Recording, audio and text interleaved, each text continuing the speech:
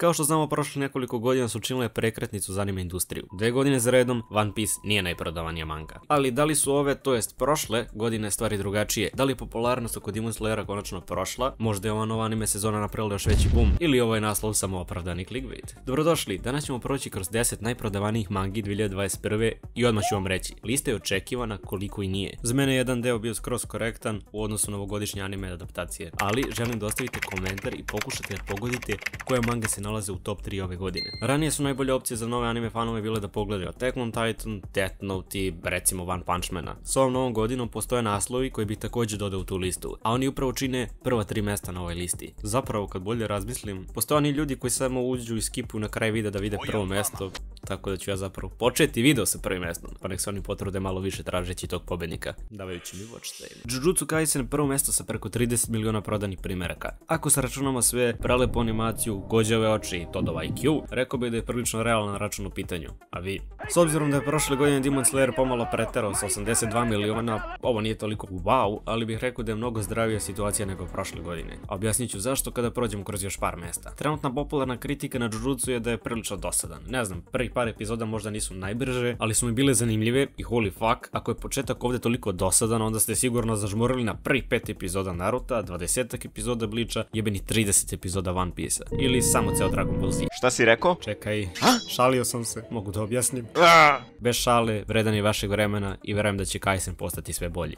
Drugo mesto, nije toliki mindfuck, to je Demon Slayer sa malo ispod 30 miliona. Ako ste barem malo gledali anime u prethodne 2-3 godine, onda pojmovi kao Demon Slayer epizoda 19, predivna animacija i Nezuko ne bi trebali da su vam strani. Prošle godine izašao film koji je oborio sve rekorde, pregazio i Spirited Away i Your Name po zaradi, što znači da će ovaj anime samo nastaviti da obara rekorde i u budućnosti, ako i sve već nije oborio.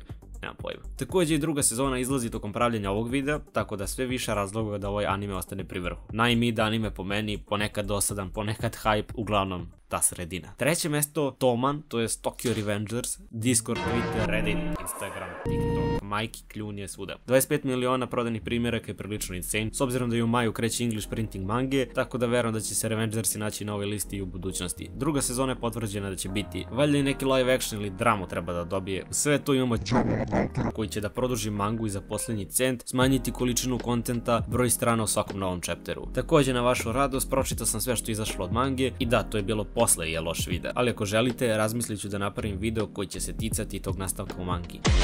Ako budete dobri i lajkujte ovaj video.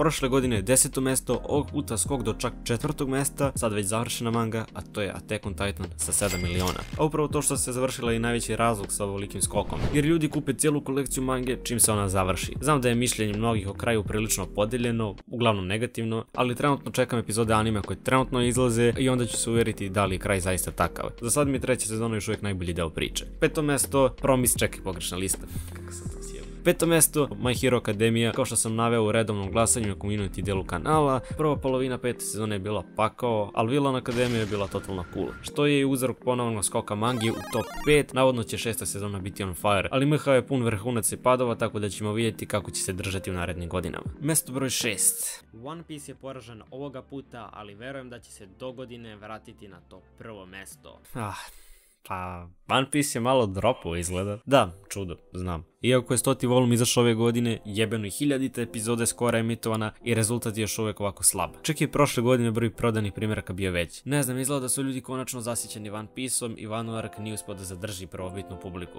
Cijela stvar je mač sa dve oštrice, početna publika će biti verna i jako dugo vremena, ali što One Piece biva duži, to će biti manje gledalca koji će imati strpljenja za toliko duga anime. Spor pad, ali 20 godina je prošlo, vremena se menjaju. Ljude više ne zanimaju avanture mladih junaka koji će juriti ka svom cilju bez obzira na to kojim stane na put, makar to bio i ceo svijet.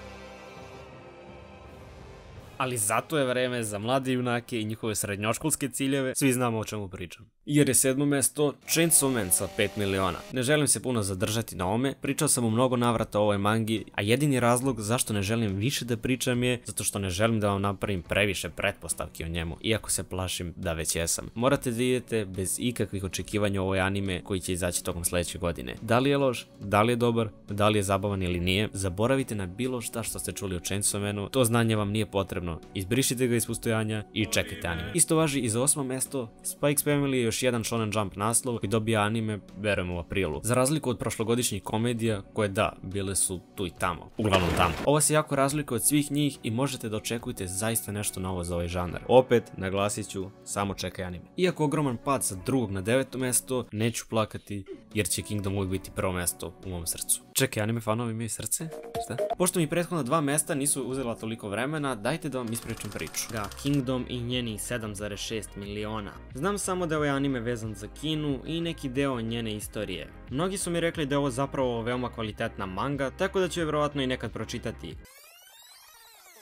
Pogledao sam Kingdom i prošle godine izlazila treća sezona. Toliko je dobra da i ja da pokušam da vam dižem očekivanja o njoj koliko mogu, mislim da će vam iskustvo tokom gledanja opet biti nadmašeno. Ne znam kako, ali to je moja istina. Ljudi previše zaobilaze ovaj anime i mangu kod nas i nadam se da će doći dan kada će se to promijeniti. Za neko chill deseto mesto, Haikyuu sa 4 miliona. Da, manga se završila još prošle godine, ali lepo je vidjeti Haikyuu na ovoj listi. Najsolidniji od 10 sportski anime za koji znam. Jedino što bih mogao da dodam je ta nova anime sezona koja se očekuje kako bi konačno vidjeli kraj ovog dugogodišnjeg turnira. Kao neka završna reč, želim da vam objasnim kako je Demon Slayerova popularnost uticala da se ova lista toliko promeni ove godine. Pre svega, u posljednje dvije godine anime je dobio više fanova nego prethodni 10. Sada, kada se mega hype smirio, ti ljudi koji su gledali Demon Slayer su se zainteresovali za ostale naslove pomalo, što će biti Tokyo Revengers i Jujutsu Kaisen. Da, samo su shoneni u pitanju, ali od negdje treba da se počne, jer je anime upravo toliko zarazan zbog njegove raznovrsnosti. Tako da jedva čekam da vidim kako će se lista oblikovati sljedeće godine, jer izgleda da je vreme da se jedan član velike trojke